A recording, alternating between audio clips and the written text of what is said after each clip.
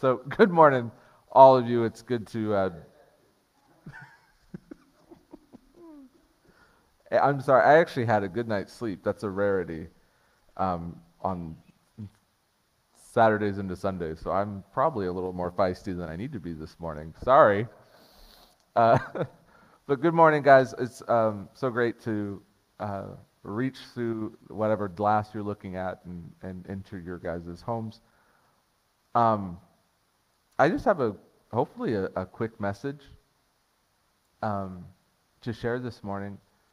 Um, I was reading when I got was asked to speak. It was, was like, oh yeah, sure, and immediately I felt pressed to read Colossians. And uh, wait one second, sorry, excuse me.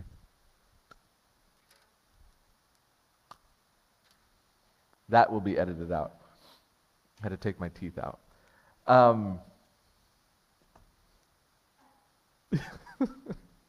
I okay.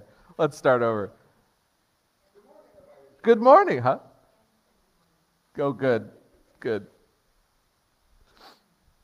Good morning, guys.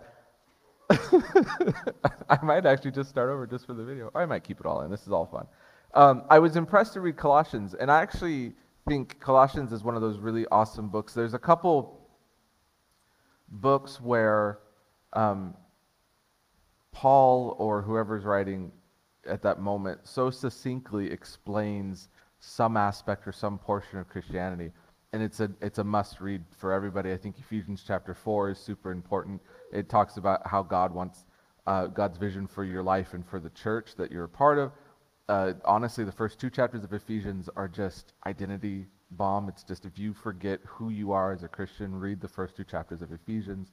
Romans, the whole thing is vitally important. If you actually want to understand your faith and the journey that you're going from the beginning to the end, you should be, read Romans from the beginning to the end. Colossians is actually one of those books. It's so succinct, it's small, it's four chapters. I would recommend that um, if you find the time today, completely sit down and read it all the way through um, without stopping. It's it's really great. There's just these just truth bombs in it that when you read it and you go, oh yeah, that's right. Oh, that's true. And and the context of Colossians is Paul was writing this to, to the city of um, Colossae, Colossae. Uh, he had never been there. He had actually um, he had heard about it because he had discipled somebody who went and started that church and that um, person, who I'm not even going to attempt his name, um, ended up being in prison with Paul again and was telling Paul about what was going on in the church. And so Paul wrote this letter in response. And so it's actually really succinct, it's really short, it's an introduction. And the main thing he was actually arguing and, and um, battling in the letter was you had these a large Gentile church who were being um, influenced and told that they had to take on the uh, Jewish religion.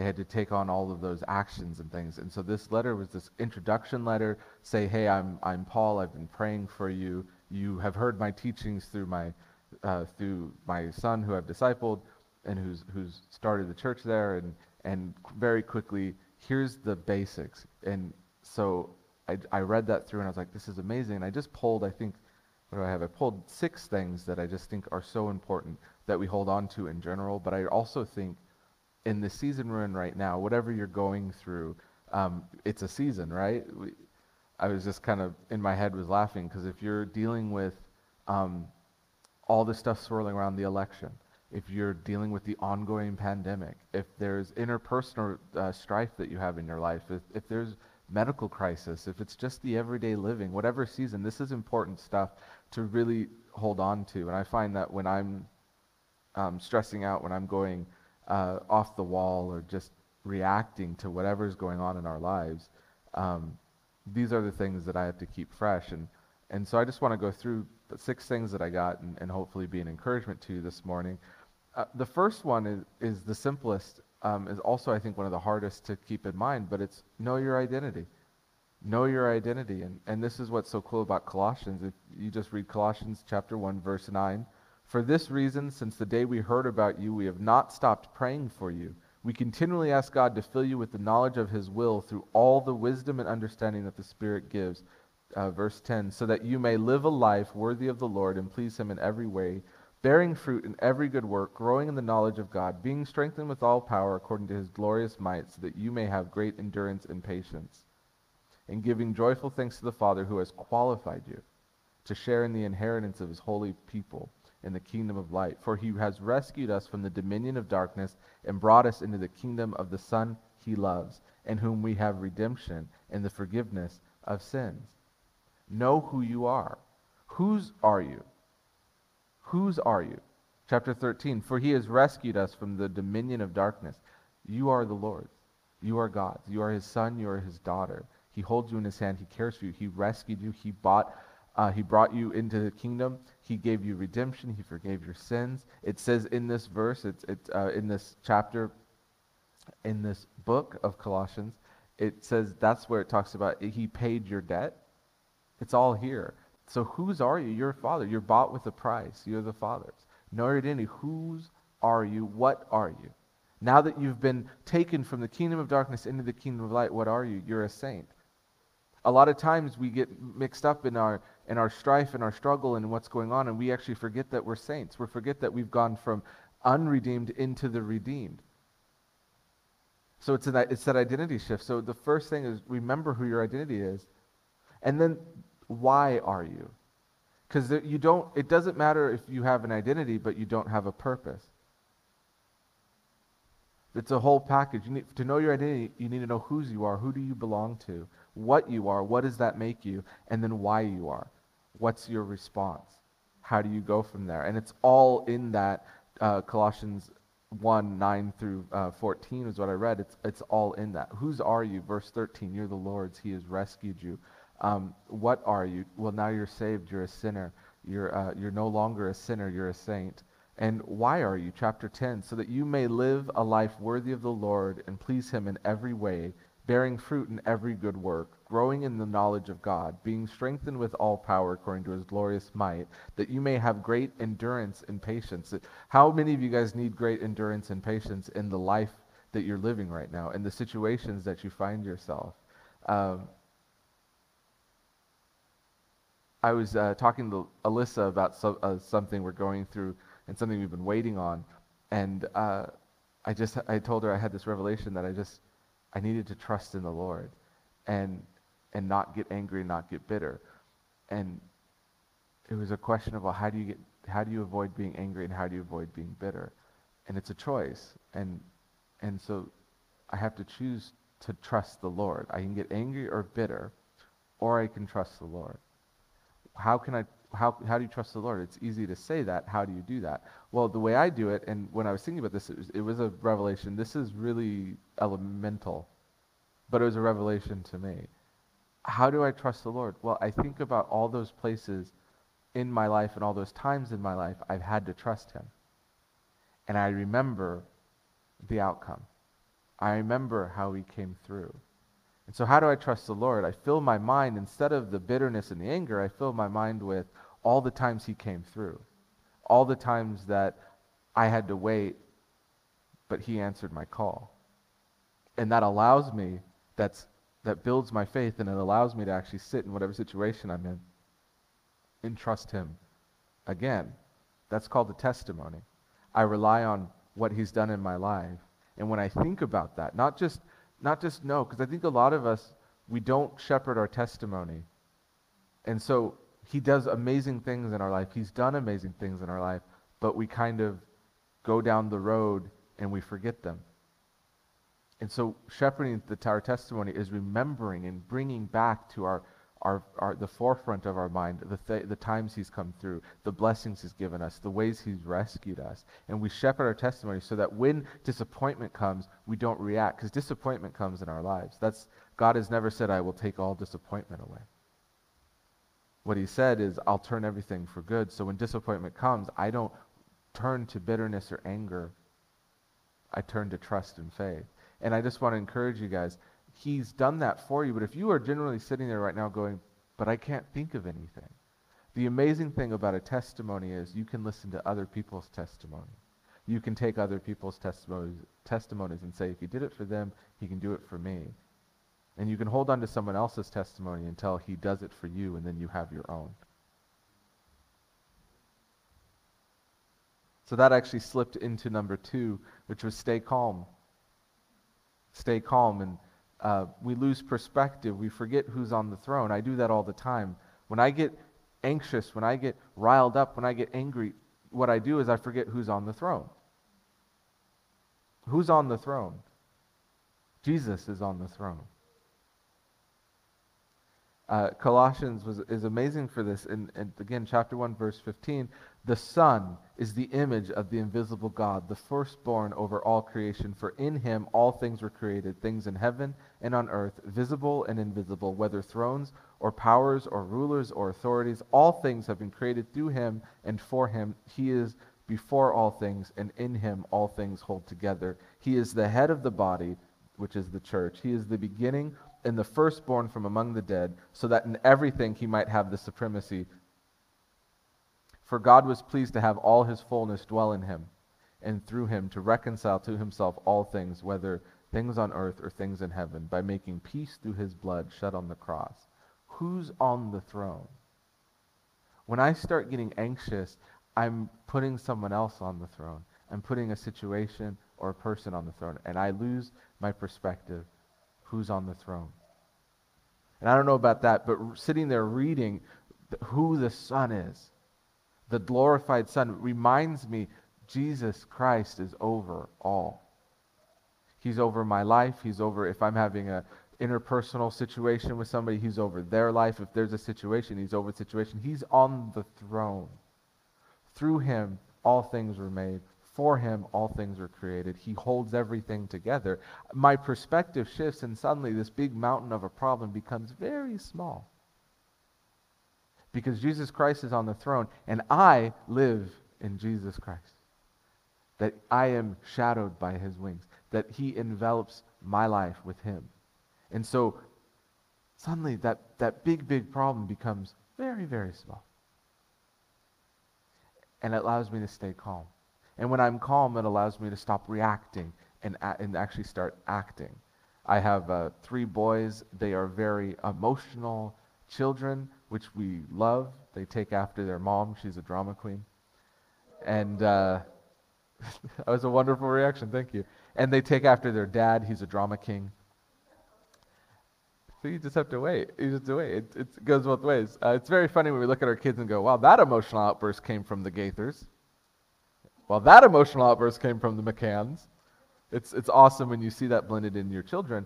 But our children are very dramatic and they're very emotional. And the number one thing that we do when they're having those emotions is we let them work it out and we encourage them and remind them that they can work it out and that they don't need to react to what they're feeling, but they can experience it and then act. That even in their, the midst of all that turmoil they're feeling, there's choices that they can make. And we, as people, as adults especially, just need to remember that. When we're stressed out, when we're getting, just relax and, and try and calm ourselves to say, I know who's on the throne. I know who's in charge. It's okay. And we can still experience those emotions. We can still experience that stress, but we can now start to act instead of react. It's important to understand that when we know our identity, when we become connected to Christ and experience the life he breathes into us, we and we start transitioning, we actually go from one kingdom to the other, we put the old man away and we put on the new man. And kind of point three I want to talk about is we need to start guarding ourselves to not let our old man be provoked. So often we resurrect the old man in times of stress. We, uh, in times of fear, in times of anger, in times of uncertainty, we start dwelling on things of this earth. We start dwelling on um, conditions that are happening instead of dwelling on Christ and on the things above, and we actually start provoking our old man. You see, when we turn our eyes off of Christ, and we just, even if we just look at the world, we're feeding ourselves. And when we're looking at Christ, we're feeding our new nature. When we're looking at the world, we're feeding our old nature. And sometimes we have these things where I just feel like I can't kick this habit. I just, I just feel like every time the situation comes, I respond poorly, and I, I know I should respond in a righteous way, but I respond unrighteously. And what is all that about? A lot of the times it's because what we're feeding isn't actually our new man, we're actually feeding our old man. And uh, I just, I, I want to encourage you. Uh, Colossians 3 3 says, Since then you have been raised with Christ, set your hearts on things above, where Christ is, seated at the right hand of God. Set your mind on things above, uh, not on earthly things. For you died, and your life is now hidden with Christ in God. Put to death, verse 5. Put to death, therefore, whatever belongs to your earthly nature sexual immorality, impurity, lust, evil desires, and greed, which is idolatry. Set it aside. We're hidden in Christ. It's, it's again knowing the identity, staying calm, remembering who's on the throne. Christ is on the throne, and I'm hidden in Christ. I'm on the throne with him. That I actually start looking at my life in a with a victorious mindset to say that the, the way past all these issues, the way past this has already been, been um, written, it's already been laid out for me, and all I just need to do is step into it. And when I gaze on the face of Christ, when I look at him, when I stay connected to him, I'm feeding my, my new man, I'm feeding my righteous nature, and I respond that way. When I turn my eyes off of that, I don't. I'm not feeding my righteous nature, I'm feeding my dead man. And what happens when you feed a dead man, in this instance, is he starts to stir again. And you start noticing I'm falling back in those old habits. I'm having those same mindsets. I'm responding in those same ways, be it anger, rage, fear, um, passive aggressivity, any of anything that you can think of. It's if it's greed, if it's idolatry. I'm starting to go back in those ways. I really want to challenge you guys. What are you putting into yourself? What are you feeding? And who are you feeding? What are you provoking? Are you feeding the righteous side of you or, or are you not?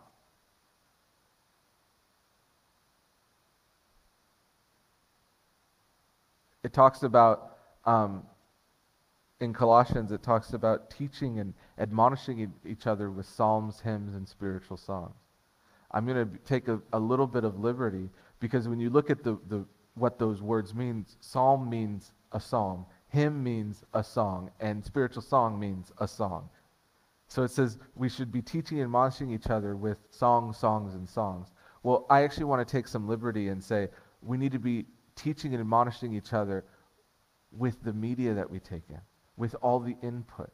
Watch what we're putting into ourselves. If you're in this situation and you're feeling fear and anxiousness, if you're feeling anger and rage, I would check what you're taking in. Are you allowing yourself to be fed with righteousness? Or are you allowing yourself to be fed with this world? Colossians is a warning against keep your mind set on those things that are higher. Ignore the elemental things of this earth. It, it, and there's, it, there's a freedom, the Colossians talks about the freedom we have. The freedom we have comes when we keep our eyes on connected to God. Alyssa was talking to me about a picture she had about being a horse with blinders and, and it blocks what, you know, when a horse has blinders, it blocks what is to the left and to the right. And it allows them to just focus we need to have blinders and focus on Christ. That when we look at him, that's all we see. And we need to be careful in this season because it's so easy. And I feel like thing after thing after thing this year, you know, 2020, it's a meme this year. And it, it it's only going to ramp up. I don't know how you guys feel about the election or anything, and I don't care in a good way. It's for you. I want, you know, one thing I can say about the election is vote, vote your convictions, and that's it. I don't need to know anything else beyond you voted and you voted your conviction. But man, it riles people up. Everybody, every side gets riled up. No one is worse than the other. Everybody gets riled up. And if you're just in taking all of that in, you're anxious, you're scared, you're angry, you're frustrated. All the COVID, this ongoing pandemic, same thing. If all you're doing is taking that in, you're fearful, you're scared, you're angry. You're... We had our home group a couple weeks ago, our first one, and again, um, we're having one this Tuesday, and please contact me if you're interested, and I'll let you know all the details. Um, but the first time, you know, what, what do you do nowadays? What do you do this year when you get together with a group and you're refreshing and, and haven't seen in a while? You go, How's your year been? Because it's been that kind of year. And so for our first home group, we went around and just shared, here's the, our experiences of this year. And man, there's just so many. There's so many big national things and there's so many small things. This year started for Alyssa and I with our house being flooded and us being out of the house for like a month total while we were trying to get all that worked out. That's how our year started. It started with Alyssa being pregnant and she, we had a kid in this year. Lots of t- things happen. We need to make sure that when these things are happening, we're filling ourselves with that that is righteous and good. And we need to be aware, and we need to be better stewards of what we're taking in. Even if we think it's from a good source. The, the test is, did I take that information in? Did I watch that media? Did I listen to that music? Did I read that book? Did I take that in? And did it, do I have the fruit of the Spirit in me now? Do I have peace, joy, love, faithfulness, patience? That, did that grow in me as I did that? Or Am I more anxious? Am I more stressed out? Am I more worried? Am I, am I more angry? Yeah, but I'm angry because they're. Da, da, da. Am I, are you angry? That should be the test. I love how we justify our anger. I justify my anger all the time. No, it's righteous anger. I'm angry because they're not doing the right thing. That isn't righteous anger. That's anger because they're not doing the right thing. Is my anger going to help them do the right thing? Probably not.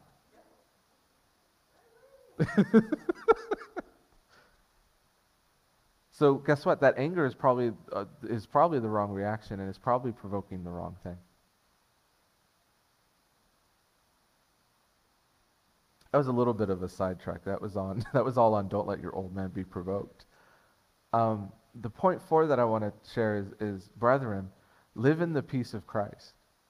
Colossians 3:15 says, "Let the peace of Christ rule in your hearts, since as members of one body you were called to peace, and be thankful." Let the message of Christ dwell among you richly as you teach and admonish one another with all wisdom through psalms, hymns, and songs from the Spirit, singing to God with gratitude in your hearts. And whatever you do, whether in word or deed, do it all in the name of the Lord Jesus, giving thanks to God the Father through him. It's really funny. We're called to live in peace, and we're called to live in peace within the body, and we're also called to live in peace with the world, which is funny. Uh, not, I shouldn't say the world in general. I should say in specific people. Um, but I just want to encourage us in these times where everyone wants to take a side, everyone wants to take a stand. We need to learn to maintain that bond of peace. That doesn't mean we don't disagree. That doesn't mean we don't have different values. And that doesn't mean that um, we don't argue. Um, I love watching my three boys because they're very much connected as siblings already. And they argue and they hit each other and they get angry. And 30 seconds later, they're playing and they're loving each other and, you know, randomly go and give, you know, Solomon will randomly hug Ezra. Ezra will you know, get angry and hit him, and then five minutes later be like, "Brother, come play with me. Why are you Why aren't you playing with me?" And I just I love that picture. I, I remember me and my sister were cats and dogs growing up. We couldn't stand each other. We fought all the time, unless somebody threatened one of us. Then we were family. We were brothers and sister. You know, we don't talk about my sister that way. Don't talk about my brother that way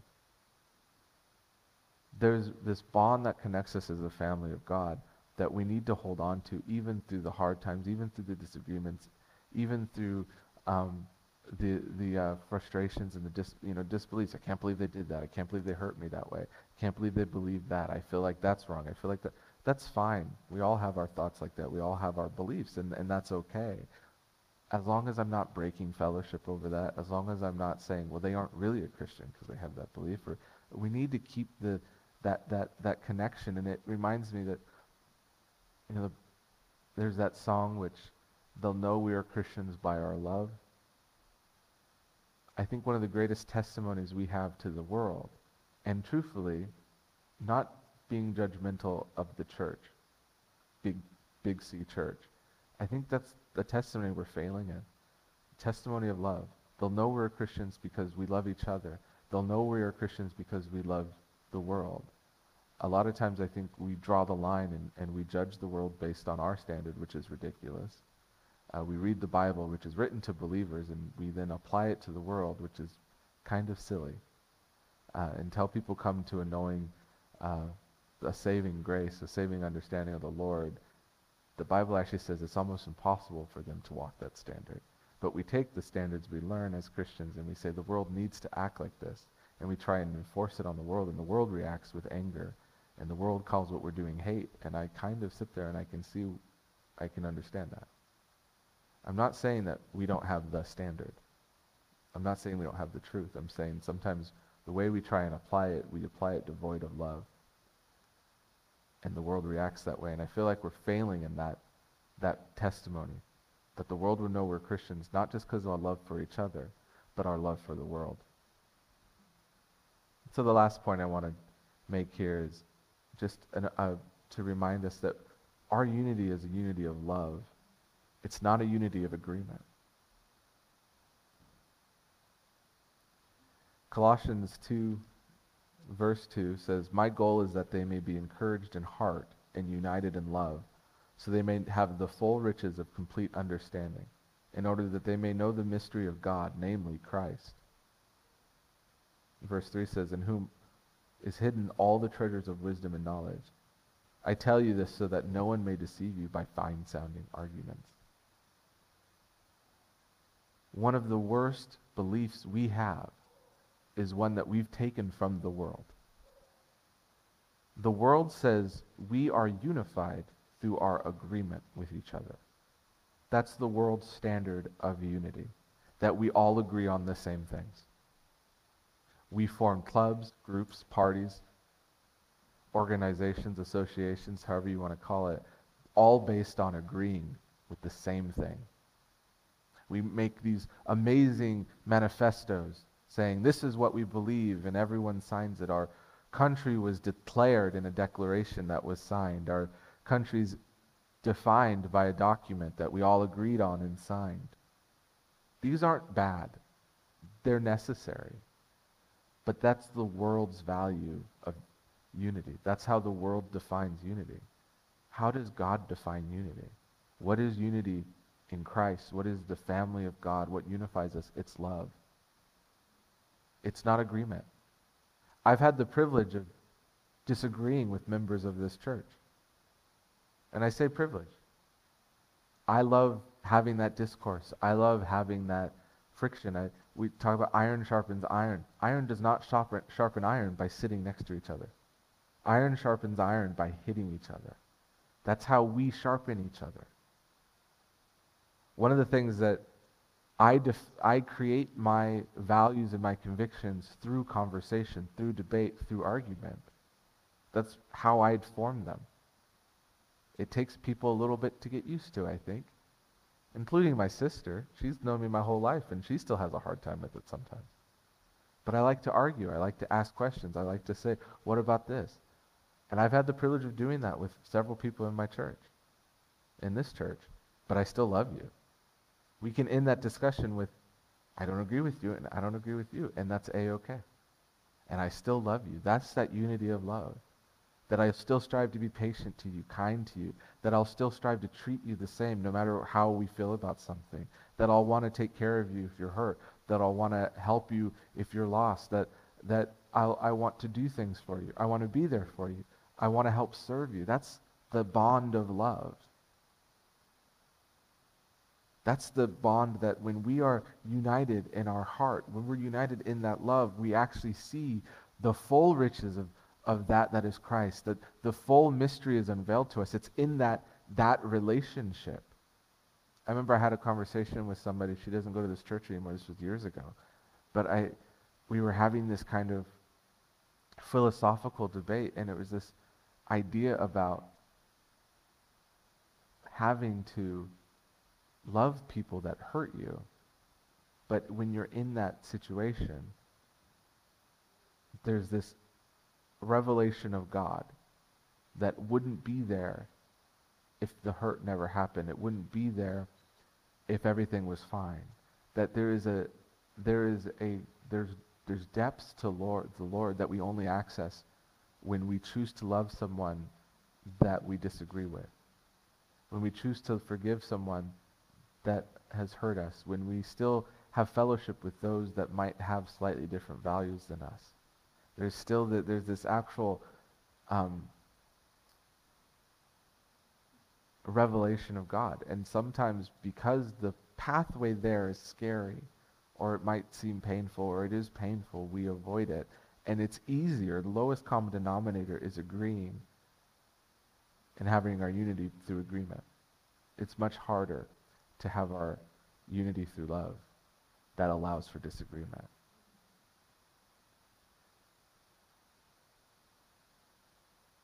I think the reason why we're supposed to have a unity through love is one of the one of the worst things we've done in Christianity is l- the leaders of Christianity have taken their experience and they've said, this is what it means to be a Christian. So everyone has to do what I did. And we have a word for that, and we all agree on this. We call that religion. We call it religion. Most denominations have a founding leader who created most of the forms of that denomination. How did they create that form? They had an experience of Christ and they said, I think we should normalize my experience of Christ. Now, the cool thing is, all of us have had our own individual experiences. All of us have come to the Lord in our own way. There are um, places that are the same. We all have similar experiences. But the amazing thing in Colossians talks about this, we all have an individual expression of God reserved for us. We all have an individual expression of the Christian life that's reserved for us. That allows for those differences. And because we all have a different experience, we have different perspectives, we have different values. So we won't always agree, but we still need to be unified. And that's why it's the love. And the thing that unifies us is Christ died for you, Christ died for me. The one thing I'll never do, this was a conviction that God put in me years ago. I will never say about another Christian, they aren't saved because of a belief they have. I remember I had an argument with a friend of mine who is very much against Catholics. Oh, they aren't really Christians. I can't say that. Well, how can't you say that? Well, if I look at Catholic doctrine and Catholic faith, they say Christ had to die for their sins. So I'm not going to judge the way they express that salvation. That's not my job. I'm learning the older I get, I'm not here to judge you. I'm here to live my life to the fullness of my conviction and to the level of my influence. And if there's disagreements, that's fine. And I love you. I wish we could all learn more and more to live that way. And when I go out in the world and I talk to people, that's how I talk to them. You have your beliefs, I have mine, and that's fine. I still love you. I want to end um, with a verse, with um, two verses Colossians 3 12 through 14. Therefore, as God's chosen people, holy and dearly loved, clothe yourself with compassion, kindness, humility, gentleness, and patience. Bear with each other and forgive one another if any of you have a grievance against someone. Forgive as the Lord forgave you, and over all these virtues put on love, which binds them all in, together in perfect unity. So, Father, I just thank you right now, and I just pray that anything in this message that was of you, Father, that, that those words would bury themselves in the soil of our hearts. Father, I just pray that, that through your direction, through the direction of the Holy Spirit, Father, those words would, would grow. They'd bear fruit. They'd bear fruit of love. They'd bear fruit of compassion, of humility, of gentleness, of patience. Father, I just pray right now that we would begin to be the change that we want to see. That we would stop taking in the world, but we'd actually start transmitting the love of, of the Father. And I just pray right now that if there's anything that has come up in, in our minds of grievances we have towards anybody in our life, Father, I just pray that we would forgive them. I pray that we release forgiveness over them, Father. I pray we'd cancel any negativity, we'd cancel any curse that our unforgiveness might have provoked, that our, our separation might have provoked, Father. I just pray you begin to show us those relationships that need mending. Father, I pray you'd show us those situations that need your touch. And Father, I just pray right now that we would have a Holy Spirit censor, that the things that we would take in that weren't of you, that fed the wrong man, Father, I pray we'd get no enjoyment from it. I pray that it, they'd become difficult to even uh, ingest that media, ingest that, that whatever source it is, Father. That we'd feel your conviction and we wouldn't feel shame, but we would just very simply find another source, find you. In Jesus' name, amen. God bless. Have a good week.